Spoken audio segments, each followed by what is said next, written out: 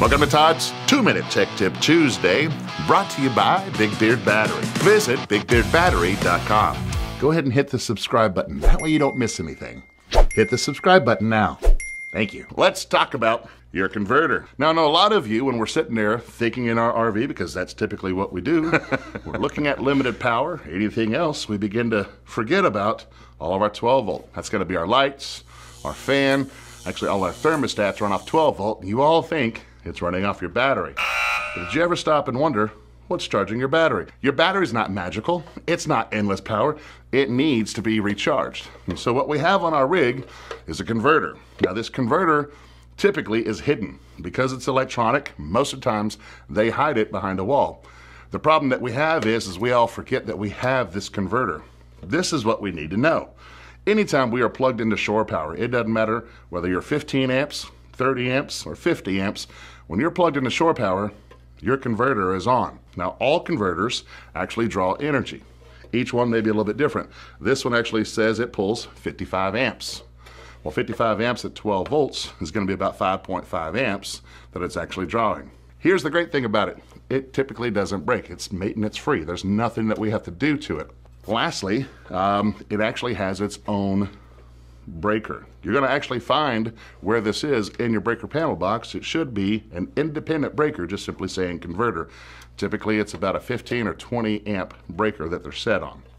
So when you're considering how much power you're using, consider, always consider that you have that converter on. All right, so you see this one here, we call this one the standalone. We also have another version.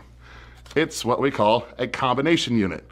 This is what it is right here. Now, if you got a combo unit, this is actually in the lower section of your breaker panel box. If you ever by your breaker panel box and you hear some fans, more than likely you got a combo unit. They are replaceable. You can replace these, but there's not much that we do. If these go out, we just simply toss them out. And there's your tech tip. Now we got this big dilemma going on beyond that, but I digress. I don't even know why I'm talking about that because she put it in my head to start talking about the fall and the freaking leaves. I'm gonna show you what it is. Well, we just simply toss them out.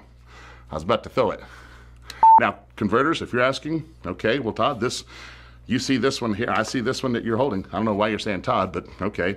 All right, Tech Tip Todd, you got this in your hand, but I don't have one that looks like that. You know what you do when leaves fall?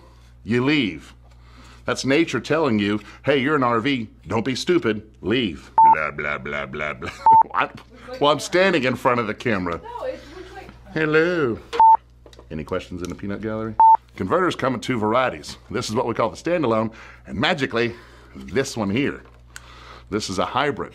Now the hybrid, not actually, damn it, do it again. You're down to about 24.5 amps, 55. I don't know, you math that. Otherwise, setting up on lower voltage, wait, damn it, why is it sitting right here? I gotta look over this way. What's charging your battery? Okay.